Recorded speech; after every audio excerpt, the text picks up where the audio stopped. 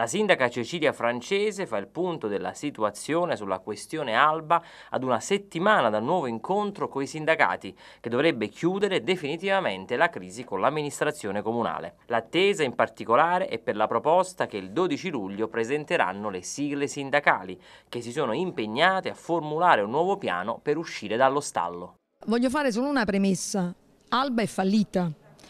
ha chiuso quest'anno con un bilancio negativo, quindi è fallita.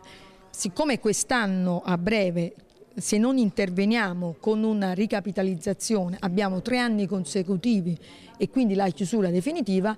c'è la necessità da parte dell'amministrazione per evitare di eh, mettere in mezzo a una strada, di far perdere il posto di lavoro in una situazione contingente che è quella che è eh, circa 115 famiglie, c'è quella di intervenire e di ricapitalizzare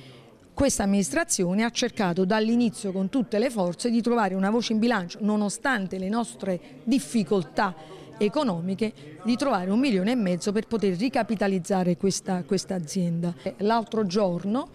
c'è stata una riunione molto pacata, ringrazio i regionali che, che, sono, che sono, intervenuti,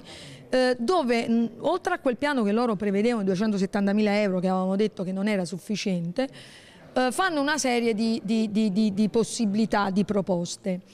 eh, molto partendo dal fatto che persone vanno in pensione, però il neo di questa proposta potrebbe essere il fatto che se tu con queste unità operative non riesci a coprire tutta eh, la, la, la, superficie, tutta, tutto il paese,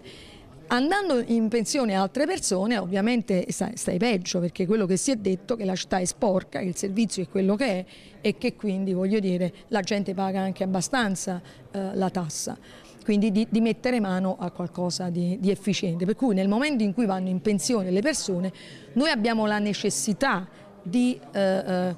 prendere eventualmente con interinali perché non possiamo assumere, insomma Alba segue le stesse sorti del, del comune, altre unità per poter garantire una, una, una città pulita. Insomma.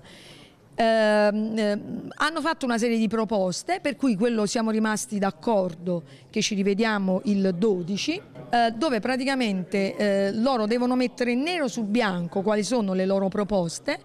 perché noi poi dobbiamo farle vedere ai nostri dirigenti ma soprattutto ai revisori dei conti che hanno dato parevole e favorevole al nostro bilancio in virtù di questo piano di eh, ristrutturazione della società. Per cui eh, queste cose passano anche da organi ovviamente sovracomunali, perché se tu ricapitalizzi e poi non è sostenibile, eh, i consiglieri comunali devono rimetterci un milione e mezzo, quindi anche loro vogliono la loro garanzia. Per cui loro stanno preparando questo,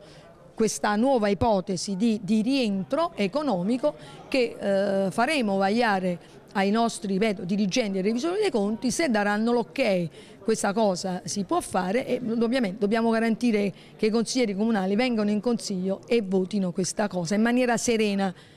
Quindi speriamo che dire, il loro piano sia un piano sostenibile.